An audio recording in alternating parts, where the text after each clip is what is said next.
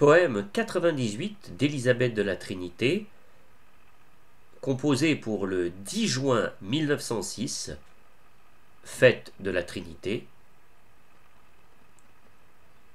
Nous avons cru à la charité de Dieu pour nous.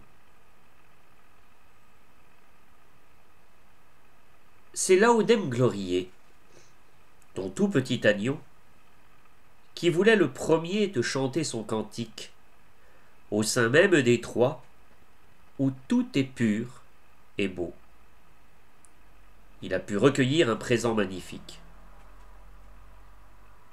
Dans le grand cœur du Père orienté sur toi,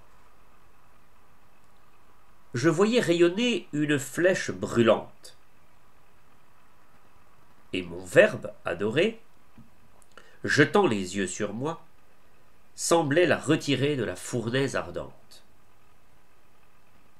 Puis, me la remettant comme un gage d'amour, afin qu'à tout instant ton âme puisse y croire, Retourne, me dit-il, au terrestre séjour. Dis-lui qu'elle est aimée, ô louange de gloire.